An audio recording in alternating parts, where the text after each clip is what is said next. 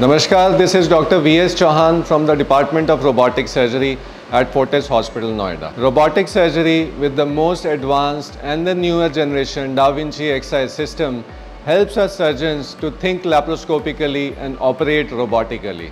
This robotic system helps us to operate the patient through very few small incisions, giving us a three-dimensional and a depth perceiving view so that the patient is very well benefited. After robotic surgery, the patient needs to stay in the hospital for a very short duration.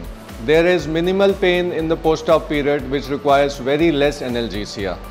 Robotic surgery can now be applied to the very commonly performed surgical procedures like gallstones, hernias, appendicitis, bariatric surgery, fundoplications and a lot of GI procedures within, which involve surgery on the liver, pancreas and intestines.